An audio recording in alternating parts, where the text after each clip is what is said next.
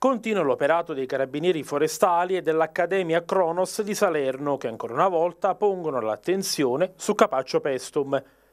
Gli uomini dell'arma e le guardie ambientali hanno denunziato a piede libero il titolare di un'azienda suinicola con l'accusa di illecito smaltimento di reflui zootecnici e siero di latte.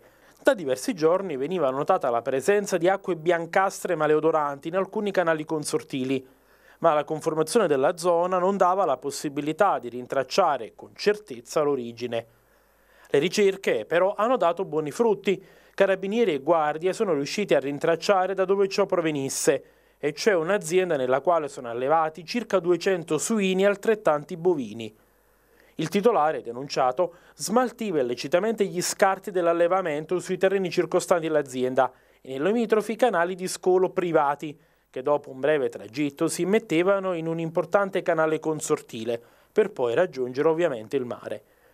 Le indagini accurate poste in essere dai militari dell'arma, una volta individuate le esatte modalità e le tempistiche con cui l'imprenditore smaltiva illecitamente i rifiuti, consentivano di dare il via all'operazione che grazie al personale nascosto tra la vegetazione permetteva di cogliere in flagranza di reato l'imprenditore. Il titolare aveva anche messo a punto un sistema di tubazione condotte attraverso il quale liberarsi, senza alcun rispetto delle leggi, dei reflui vari. Inoltre, esito dell'operazione è stato il sequestro di un terreno di 1500 metri quadrati, perché interessato dallo smaltimento.